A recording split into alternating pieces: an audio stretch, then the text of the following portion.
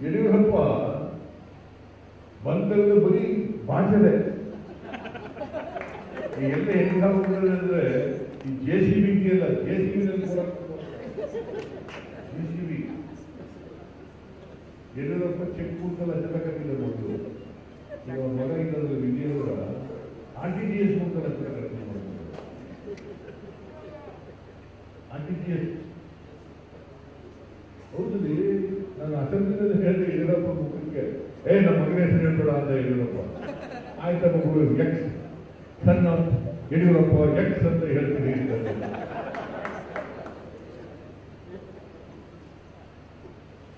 ಇಂಥ ನಾಚಿಗೆಟ್ಟವರು ಲಜ್ಗೆಟ್ಟವರು ಮಾರಿಗೆಟ್ಟವರು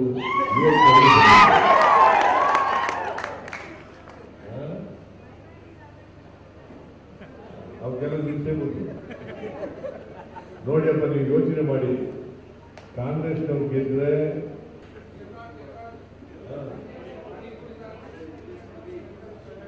ಹಾ ಆ ತೇರ್ದಾರದಲ್ಲಿ ಒಬ್ಬ ಸಿದ್ದು ಸ್ವಾಮಿ ಅಂತ ಬಂದ್ರಿ ಎಂ ಅವನು ಸ್ವತಃ ತಾನೇ ನಿಂತ್ಕೊಂಡು ಒಬ್ಬ ಹೆಣ್ಣು ಮಗಳು, ಆ ಹೆಣ್ಣು ಮಗಳನ್ನ ಹಿಂಗೆ ಎಳಿತಾನೆ ನಾನು ಇದನ್ನು ನೋಡಿದ್ದು ಎಂ ಎಲ್ ಎ ನಿಂತಿದ್ದು ಎಳೆಯದು ಓಟ್ಕು ಪಾಪ ಓಟ್ ಕೊಯ್ತಾ ಇದ್ದಂತ ಮಹಿಳೆ ಅವಳು ಪಾಪ ಮೂರು ಗರ್ಭಿಣಿ. ಅವಳು ಬಿಟ್ಬಿಟ್ಟು ನೆಲಕ್ಕೆ ಗರ್ಭಪಾತ ಆಗಬೇಕು ಆಗಲಿ ದುಷ್ಟಾಟನ ದುಷ್ಟಾಟನ ದ್ರೌಪದಿ ಸೀರೆ ಗೊತ್ತಲ್ಲ. ಹಂಗೆ ಇಂತಹ ಗಿರಾಕಿಗಳೆಲ್ಲ ಬಿಜೆಪಿಯಲ್ಲಿದ್ದಾರೆ. ದುಷ್ಟರು ಗಿರಾಕಿಗಳು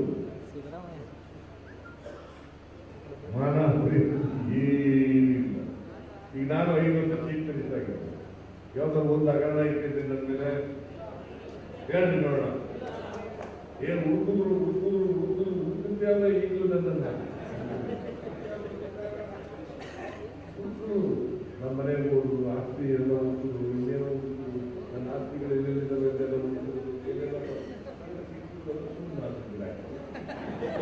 ಹೆಚ್ಚಾಗಿ ಕಾಂಗ್ರೆಸ್ ಮತ್ತು ಬಿಜೆಪಿ ನಡುವೆ ಚುನಾವಣೆ.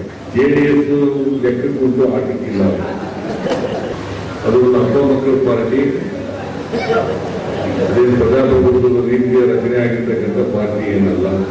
ದೇವೇಗೌಡರು ಏನ್ ಹೇಳ್ತಾರೆ, ಕುಮಾರಸ್ವಾಮಿ ಏನ್ ಹೇಳ್ತಾರೆ, ಅದೇ ವೇದವಾಕ್ಯ ಆಗಿದೆ ಅದನ್ನು ಪ್ರಶ್ನೆ ಯಾರು ಮಾಡೋಕ್ಕೂ ಇಲ್ಲ, ಪ್ರಶ್ನೆ ಮಾಡಿದ್ರೆ ಉದಾಲೂ ಇಲ್ಲ.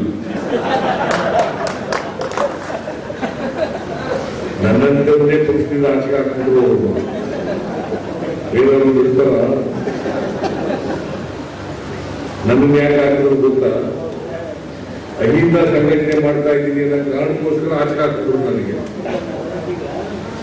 ದೇವೇಗೌಡರು ಹೇಳಿದ್ರು ಏ ನಾನು ಹೇಳ್ದಂಗೆ ಕೇಳಬೇಕು. ಕೆಲಸ ಹುಬ್ಬಳ್ಳಿಯಲ್ಲಿ ಮಾಡೋ ಸಮಾವೇಶ ನಾನು ಹೇಳಿದೆ ಈಗೆಲ್ಲ ತಯಾರಿ ಆಗ್ತದೆ ಯಾರು ಹೇಳಿದ್ರು ನಿಲ್ಲಿಸಲ್ಲ ದೇವರೇ ಬಂದು ಹಾಗಾಗಿ ಹುಬ್ಬಳ್ಳಿ ಸಮಾವೇಶ ಆಯ್ತು.